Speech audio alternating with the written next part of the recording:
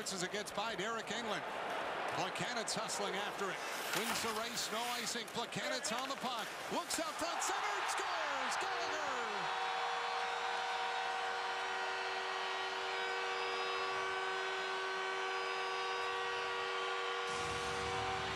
Brendan Gallagher with his of the year gives the Canadiens the opening goal.